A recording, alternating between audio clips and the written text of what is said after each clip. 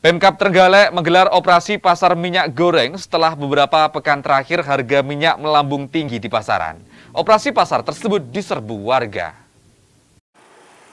Dalam operasi pasar ini, Pemkap Trenggalek menyediakan total 5.000 liter minyak goreng murah. Minyak goreng tersebut dihargai Rp13.500 per liter.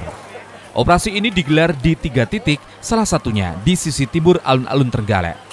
Puluhan warga nampak antusias membeli minyak goreng murah itu.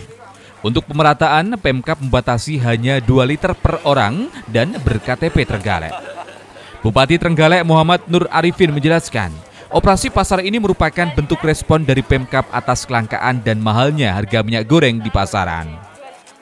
Ini untuk menghadapi kelangkaan satu, terus kemudian kedua harga yang masih tinggi di beberapa beberapa pasaran eceran karena dulu pulaannya sudah tinggi dan kemudian juga produsen sempat mengalami kenaikan bahan baku yaitu dari dari minyak sawitnya.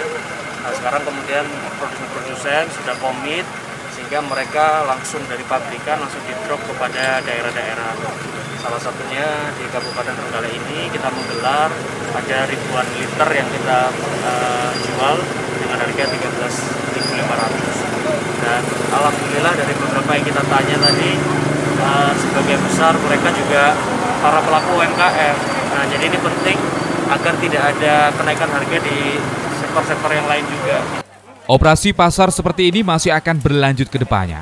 Pemkap juga akan terus memantau perkembangan harga minyak goreng di pasaran. Simon Bagus, Muhammad Hirlambang, JTV, Trenggalek.